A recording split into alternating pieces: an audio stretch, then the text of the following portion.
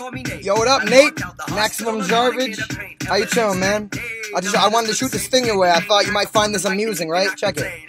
Mentally, I'm better than everyone. Never met anyone telling me different. I mean it, I beat it, I beat it up. We get beef, and the beat isn't ready for me. When I begin to speak in the mic, and I'm freaking it right away. Never be having to breathe. I'm beating the beat, I'm beating the beat about it. An idiot thinking he king. And it really a thing when I'm bringing it out. But the people, they love it, that I'm all about. And if I can defeat every bit of the weekend, the weekend, I do it. And then I'll be out with a negative agony down in my belly. I'll be disemboweling all of my enemies, dragging them back to the pack in the back. I'm attacking the whack, and I'm leaving them empty. Ugh. Holy shit.